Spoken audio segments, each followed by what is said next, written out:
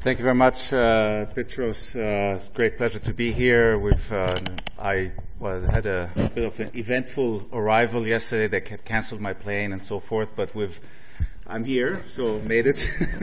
and, uh, and we've already established some Columbia uh, Madison connections uh, in the few minutes I've been here, so it's, it's very nice. Thanks for having me. So the talk today is, is hybrid procedures in congenital heart disease.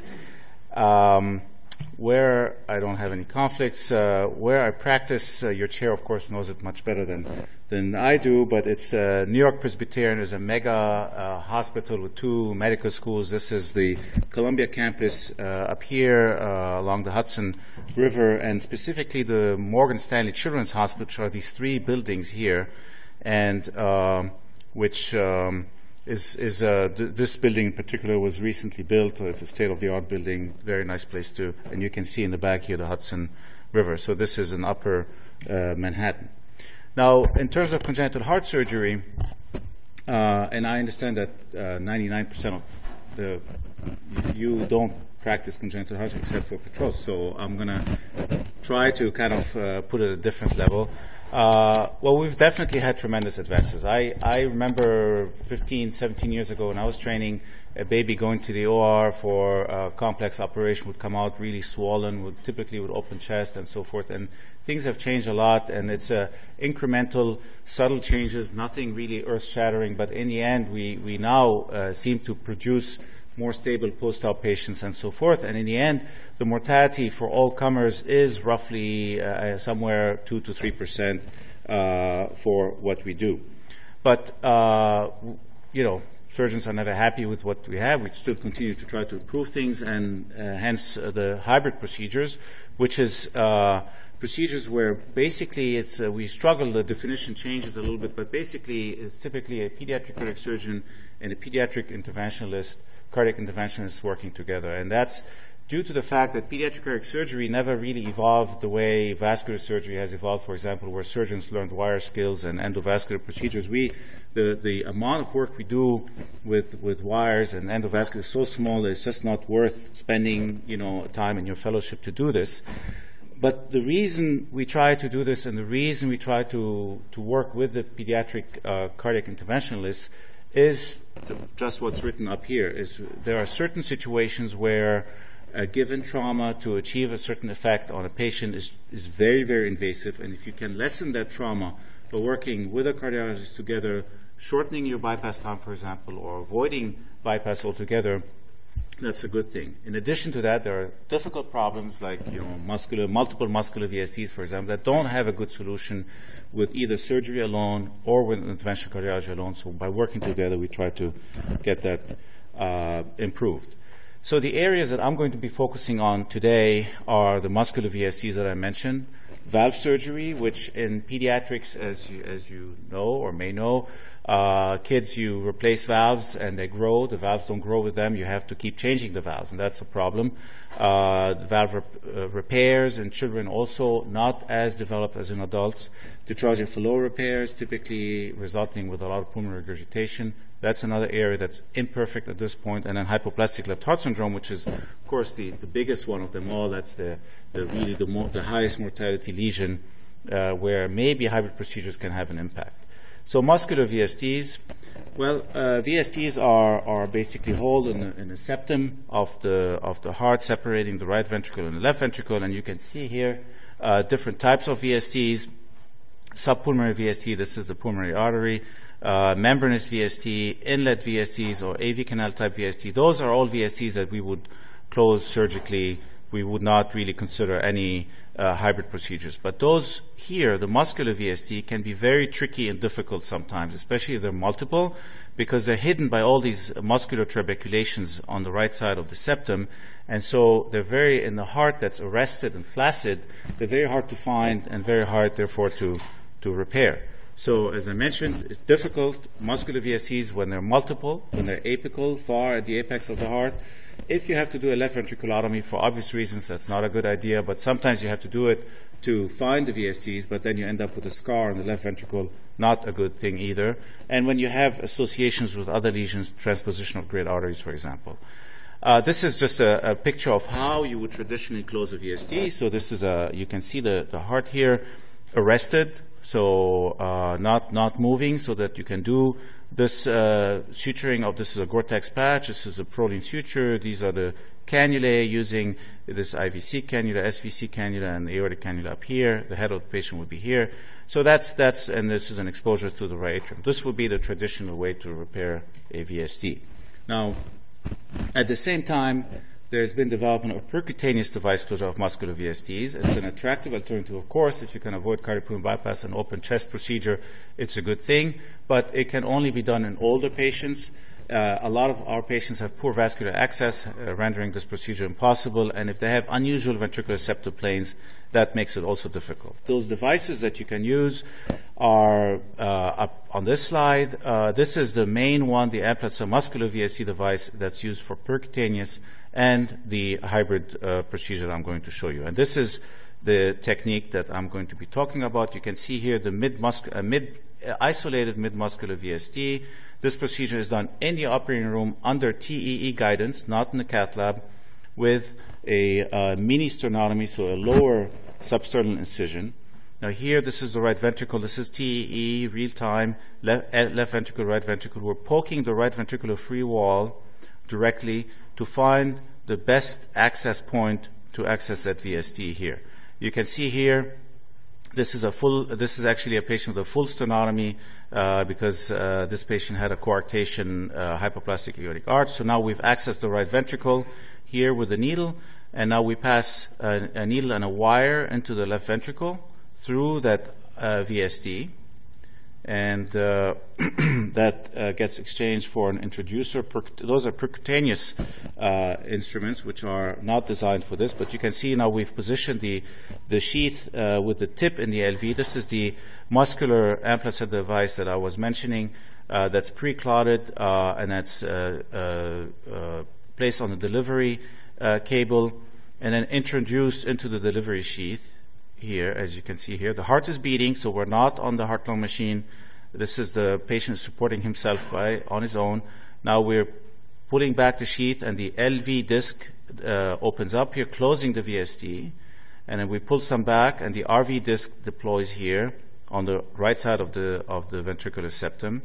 And the advantage that you have here, as opposed to being in the cath lab, is if you don't like the position, you can put your hand, as I just did here, and kind of manipulate the device into a good position. And here you make sure that the tricuspid valve, the mitral valve are all working okay. Uh, you tie that 5-Prolene um, purse string, and the VSD is closed. you you did the whole thing with the heart beating, and then you can go on and finish the repair of the arch and the coarctation. So it's a very nice, uh, nice technique.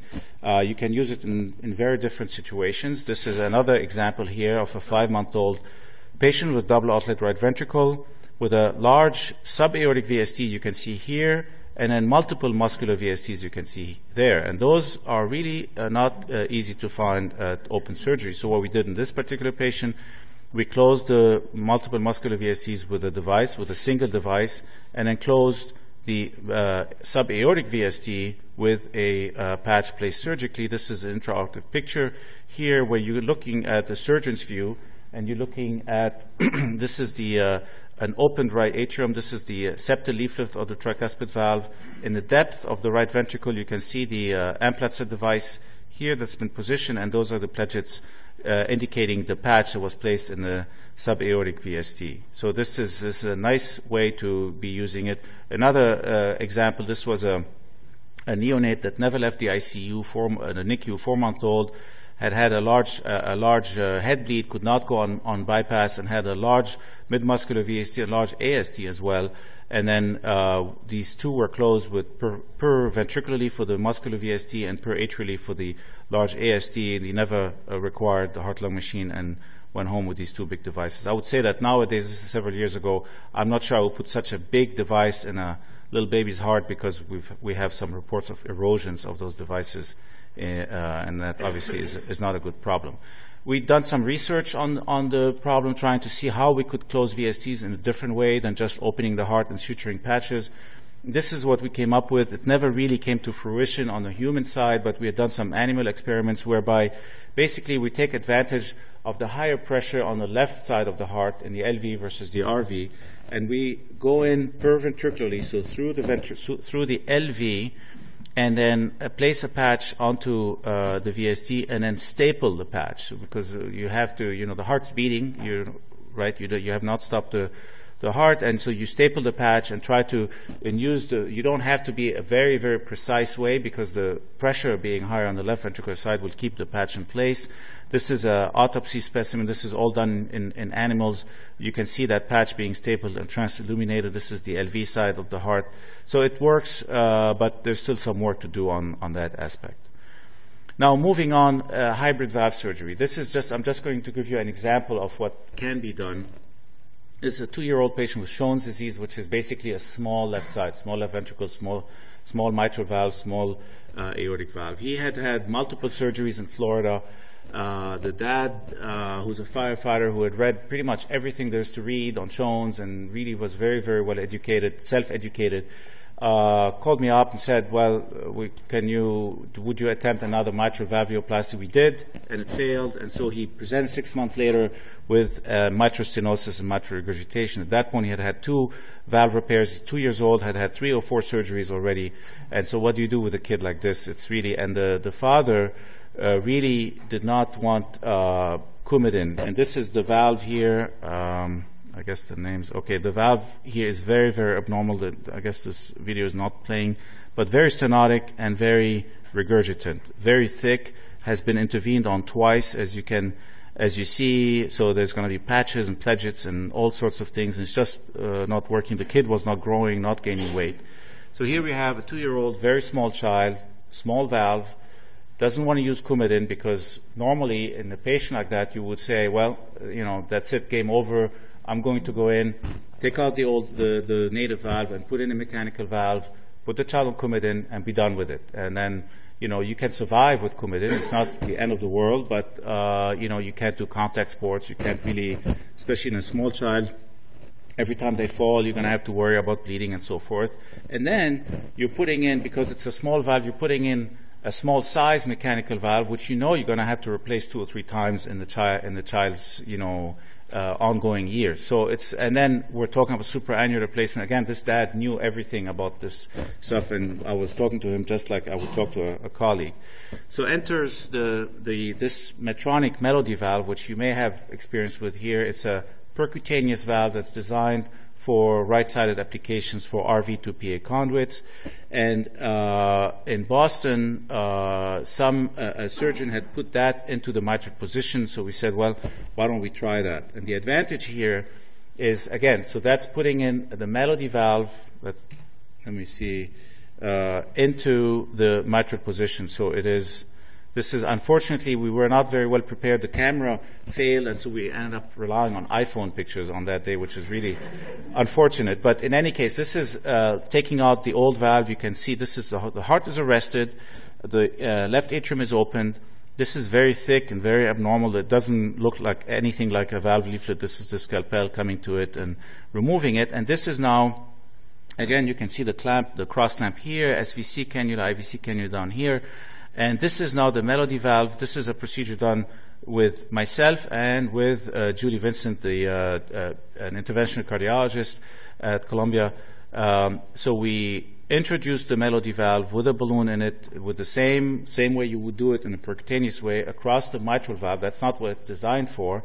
And sutured it uh, at the mitral annulus. This is the, the um, melody valve being expanded and this is the, the final result. You can see it's so because it's a stent, a stented valve, it's going to protrude a little bit in the left atrium and some of it in the LV. But uh, to my surprise, almost it worked great. It's been, and this is these are the uh, echo pictures. You can see uh, cardiologists are not used to seeing a big stent sitting like this in the in the patient's heart. This is another picture uh, here and this is the valve working perfectly well with laminar flow, and no stenosis, no regurgitation. He's doing well at 14 month post-op, sends me email every month, and uh, the advantages here are that you have now a bioprosthetic valve in the mitral position. You don't need to use Coumadin. You can put him on aspirin alone. You've shortened your bypass time because putting this valve in is much uh, much quicker uh, procedure than suturing a valve. And the best of it is it can be redilated in the future. Goes to the cath lab as the child grows. They can go do a transeptal uh, uh approach and then go and, and, and balloon dilate this valve. So that's really a very, very nice way to manage these patients. And uh, I would, the next patient that I have that needs a mitral valve replacement, that's what I'm going to do. I'm not going to be putting in mechanical valves anymore. Moving on to uh, a third subject is uh, intraoperative ballooning of pulmonary valve and tetralogy Fallot. Uh, chronic PR for anybody who's seen the tetralogy of Fallot patients either early or late.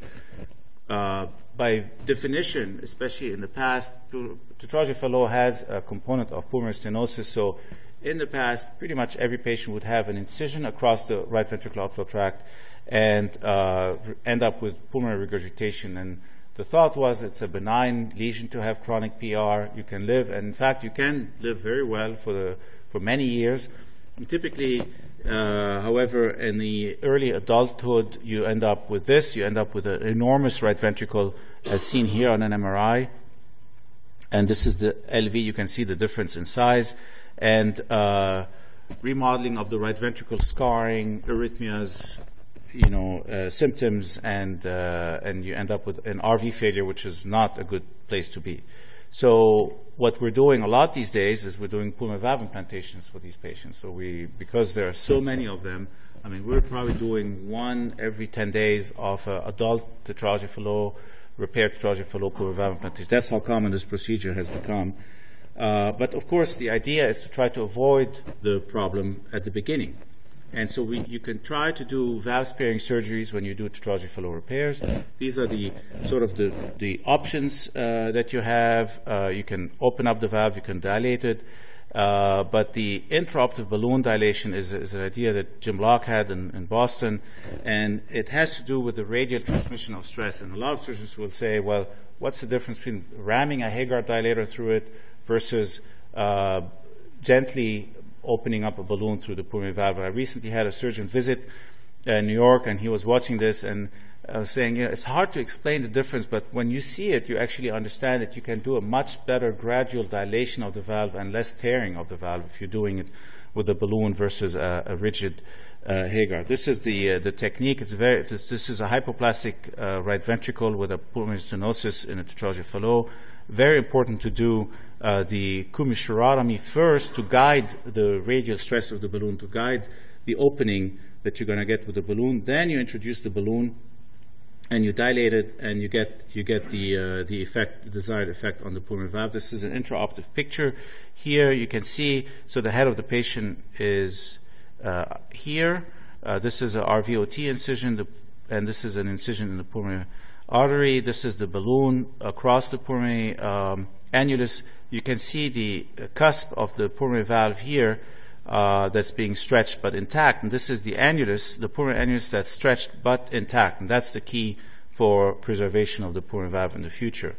We had done, looked at our patients when I was in Boston. Basically, we had seen that intraop- intraoperative balloon uh, valvuloplasty uh, would get you you would be able to do it in the same Z scores as transcatheter patches, which are the ones that you cut across the valve, and hence uh, probably could replace a lot of the patients that required a transcatheter patch.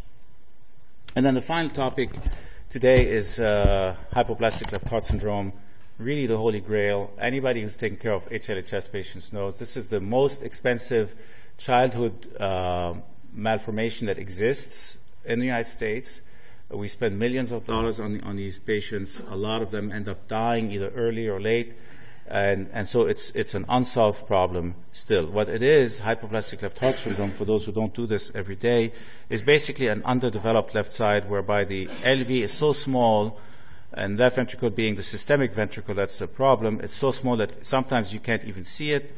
The ascending aorta is very hypoplastic, atretic, sometimes the aortic valve, and the survival depends on the ductus arteriosus uh, here. And the two um, open surgical ways to manage HLHS at this point are the classic Norwood BT shunt, which are uh, which is depicted here, where whereby you reconstruct the aortic arch with a patch, and you supply uh, pulmonary blood flow with a shunt, with a systemic to pulmonary artery shunt, or the Sano modification of the Norwood or RV with an RV2PA conduit, which is the probably right now the preferred way to manage these patients. And these two procedures uh, had been compared in a, in a landmark trial called the SVR trial, whereby they were prospectively random. They were they were randomized patients prospectively to either the BT shunt versus the Sano, uh, which is a, a great undertaking uh, at the time. And this is the, the results were interesting and disappointing in the sense that up to that point, only you know centers would publish their their results, and mostly the good centers would publish good results and so forth. This was real life uh, information, and what you can see here, first of all, is that at, at four years, the survival uh, is you know 60 to 70 percent. I mean, really not good. At five years, survival is roughly 60 percent. That's really disappointing, as you can imagine. Uh, and a steep uh, drop-off curve at the beginning. Uh, the RV2PA conduit had a survival advantage versus the BT shunt, but that does not seem to be translating into long-term survival. If you follow these patients further, the both survival curves end up merging. Um, but be that as it may, the stage one Norwood, whether it's a BT shunt versus RV2PA conduit, you have a hospital survival, you can expect 85 to 90 percent. You have an interstage death between the first stage and the second stage of 10 to 15 percent. You have disappointing neurological outcomes, and if you're a high risk group, which is uh, low weight, prematurity, uh, intact atrial your hospital survival drops to 50 percent. So it's really not, uh, you know, we don't do very well with this uh, diagnosis. So uh, enters the hybrid stage one uh, palliation, which is a non-pump approach to, to do the first stage palliation for these patients, and um, developed in England initially, then uh, popularized in Germany, and then came over to this country uh, about 10 years ago. And so the objectives for any uh, first stage palliations have uh, unimpeded systemic cardiac output, controlled pulmonary blood flow, coronary flow unimpeded, and unrestricted atrial septum, and you can do it off pump by doing bilateral PA bands, as you see here. This is a HLHS uh, cartoon, small LV. So you band both PAs, which restricts pulmonary blood flow and pushes the blood towards the systemic circulation. And in order to come off the prostaglandins, which is keeping the ductus open, you put in a PDA stent. This is done via sternotomy approach. This is not done percutaneously. This is done, but you do these things with an interventional cardiologist together and sometimes you put an atrial stent if, if needed. This is an intraoperative picture, so it's a sheath that's placed in the MPA, and through that sheath you then uh, deploy the uh, uh, PDA stent. It's, it's, important to profile the entire arch. You can see here a very nice example of the hypo. This is the ascending aorta. So this is uh, one to two millimeters. That's what you're dealing with in this disease. And this is the, the coronaries are going to come off here. And so this is something uh, that's obviously not necessarily easy to manage. This is a ductal stent being uh, placed, a self-expanding st- stent that's placed again through the sheath in the MPA. Um, and the clips here denote the uh, PA bands that, that were placed. Uh, you can then uh, test your PA bands with imaging, see, make sure that they're not too tight because you're dealing with two to three millimeter PAs. And so, of course, if you tighten just a bit too much, you're going to have too tight or too loose. So you can do uh, imaging. You can even use a Judkins Right. All of this through the main PA, through an open chest, to uh, image the, the branch PAs and uh, look at them. Again, we've learned then uh, by trial and error that you wanted to have about 30, 40 percent of the diameter in order to have the right amount of, of banding. This is what happens to the ductal stent at five months uh, post-op from an autopsy specimen. It's nicely embedded into the ductus and uh, does, you know, seems well ingrown into the tissues. This is what happens to those uh, PA bands, which is less than you would think, even though the, the PAs are banded. When you remove the band, you can uh, end up with pretty nice vessels still. And this is uh, this is a, a, a, picture prior to the second stage of showing bilateral PA bands with the ductal stent here. So here we have, uh, I mean, in theory, anybody who hears this, who's in, in congenital heart disease uh, business, thinks this is really great. I did, I did think so. I thought, wow, this is going to change. And I remember talking to uh, Tom Spray about 10 years ago, who was the chief at CHOP. Um, I do a lot of HLHS, talking to him about, is this, what do you think? And, and we both kind of agreed, yeah, this is probably going to, the Norwood will be obsolete in 10 years. This is 10 years ago. And, uh, and we, everybody would be doing hybrid because, of course, doing an off-pump procedure is better than, than an on-pump with deep hypothermic circular arrest and so forth. Well, 10 years later, we're still doing mostly Norwoods and not hybrid procedures, even though people like me and other uh, surgeons were actually excited about this, this uh, procedure. And the reasons are the following. Uh, we've, we've learned about new complications that we didn't really know about, and I'm going to go through them very briefly. The retrograde aortic arch obstruction is the biggest issue, I'll tell you right off the bat. And this is the problem here. So you have the HLHS anatomy, and the coronaries are coming off this atretic ascending aorta. And so the coronary blood flow is dependent on retrograde blood flow, in, including the head vessels, by the way. Cerebral blood flow is also dependent on blood flow flowing via the MPA ductus backwards into the aortic arch, down the coronaries, and up the head vessels. So if you have an obstruction here, then you're putting at risk your coronary blood vessels and your head blood vessels. And that's, that is exactly what has happened in a fairly large subset of patients. This is what we see. So this is a patient who, at three month post-hybrid HLHS, had a routine uh, pre-stage two catheterization, and every time the catheter would go up into the region of the isthmus here, he would have massive ST segment changes. And we diagnosed, uh, this is in the very early days, we diagnosed a, a, a pre-ductal coarctation here, and we took the patient to the OR that day and, and ended up doing the stage two.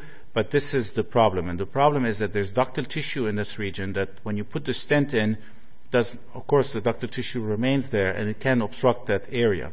This is what the patients, this is a five month at the uh, time of the, uh, of death. And this is all there is for the blood to flow into the head vessels and into the coronaries. You can imagine that if you depend on that opening, that that's not necessarily a stable situation. And the, uh, we're really indebted to the Nationwide Children's Hospital in Columbus to, to really uh, put a light on this problem of a retrograde aortic arch obstruction. Uh, and look at the survival here between if you develop a retrograde coarctation survival of this is in days here 50% 50% survival as opposed to you know 90% survival if you don't develop so it's a real issue and it's a real significant we've all had patients who've died from having a retrograde coarctation. Um, and so that is one problem, and, and to, to do a procedure and leave the patient with a potential danger of a retrograde coarctation is, is, a, is a problem.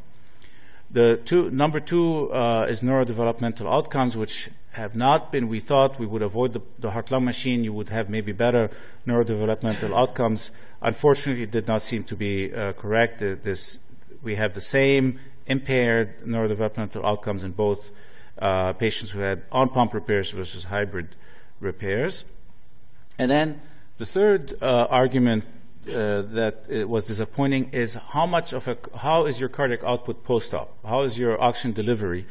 Uh, again, you would think that you avoid the heart-lung machine, you avoid stopping the heart to, for the you know cardioplegic arrest.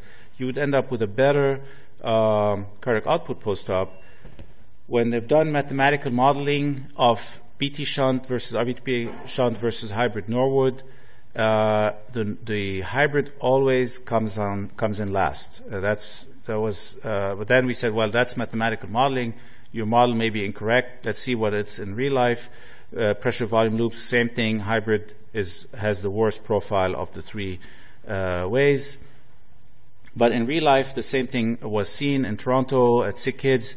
They did measure uh, QPQS, they did measure cardiac output SVR in the Norwood versus the hybrid, and the Norwood, the hybrid had a lower cardiac output, a higher SVR. The oxygen delivery, oxygen consumption was was lower in the hybrid versus the uh, the Norwood, and you can see the QPQS here of hybrid versus Norwood look, look the problem it poses to the intensivist here. It's all over the place what kind of a QPQS you, you have, which means you don't really know what you're going to expect in the ICU when the patient comes out of the OR, as opposed to the tight Um, QPQS you see here with the Norwood patients because it's, it's determined by either the shunt that you've put in 3.5 millimeter or the RV2PA conduit. So that, that's a fixed uh, measure of the QPQS. So in the end, we at this point in time, uh, we most people will use the hybrid for high risk patients, and and only for high risk patients, not a, as a routine uh, way to manage these patients. So in summary, uh, we're we're learning to use other techniques of imaging, 3D uh, echo, intracardiac ultrasound. We incorporate those imaging steps into surgical uh, thinking, and sometimes these hybrid procedures can offer alternatives to bypass strategies. After initial excitement, especially with the hybrid stage one, we have been a little bit disappointed. Some limitations have become obvious. And at this point, we do hybrids, we use hybrid strategies, but they are confined to a smaller subset of patients. Thank you very much for your attention.